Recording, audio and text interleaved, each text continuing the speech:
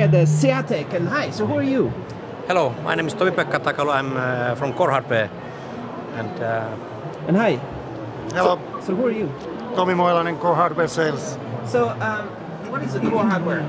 So, Core Hardware is the company from Finland. We do the design service, and now we are promoting here in CEATEC our first own component called Rabbit, which is the SP16, the antenna switch.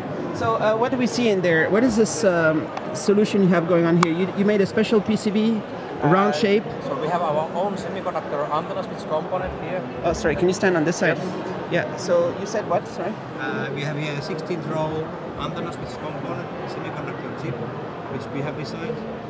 And also here is of course the PCB and then this antenna array. In this case, You designed the chip. We designed the chip and also the antenna and then we have designed also the reference. It looks like a, a spider with all the legs going around. Pretty So, much so, pretty much so. so you have eight. We have eight here, but we have a different we have different types of prototypes, uh, different sizes of antenna arrays. So then uh, here it's showing uh, what's happening, and you do the antennas all around with one. We are switching between the antennas with micro one microsecond intervals, and with that information uh, we can calculate the direction of the radio signal. So um, can you demo? Can you show how it works? Yes. Um, so you can see, see here the arrow. Yeah.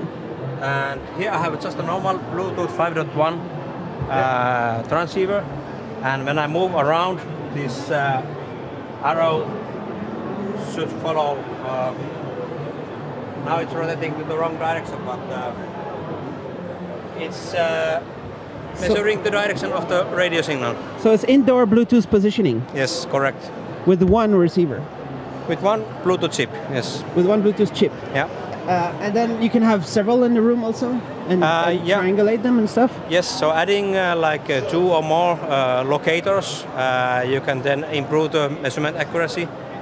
So using the triangulation also.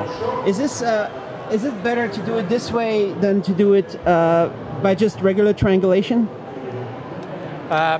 So there is the legacy system uh, for Bluetooth, which is based on RSSI, so received signal strength indicator.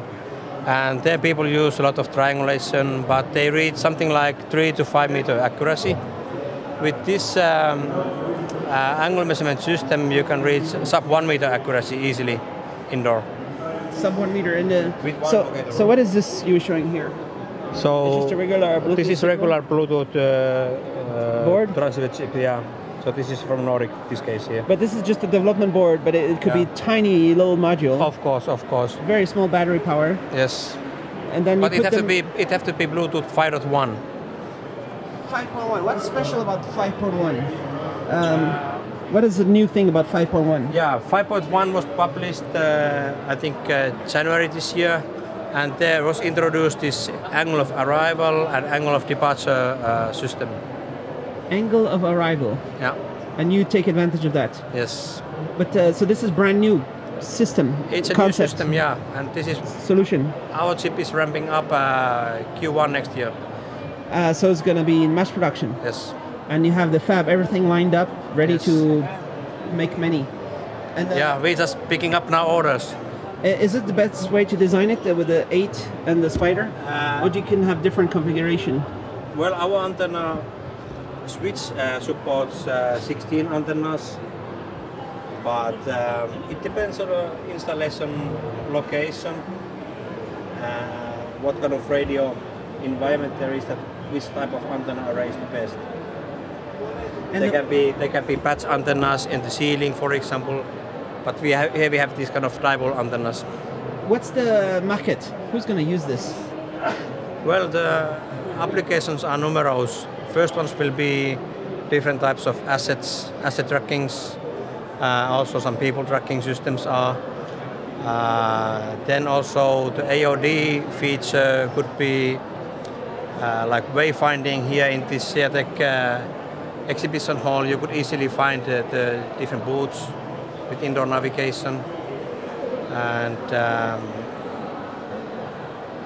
basically in future, in a couple of years, everything will be tracked. Everything. Is it the best way to do? Is Bluetooth 5.1 and your solution, or uh, what's the competitor? they're doing RFID tags and stuff and stuff, or Yeah, I think the, the nearest one is maybe ultra wideband, which is giving a, uh, accurate distance. We are giving the accurate direction. all right? But these, these technologies can be also complementary. Could you combine them? Yes, we could combine those. Yeah. So you can have your chip and another one on the same PCB or something like that. Yeah, sure, that's possible. So you could partner sh- with PCB designers, yeah, or different uh, chipset guys, or yeah. right? And maybe uh, license your IP, or do you use standard IP, or do you, how do you build it? We are selling the Rabbit uh, switch component, but we can then also license our reference antenna designs and also the reference algorithms for the cal- position calculation.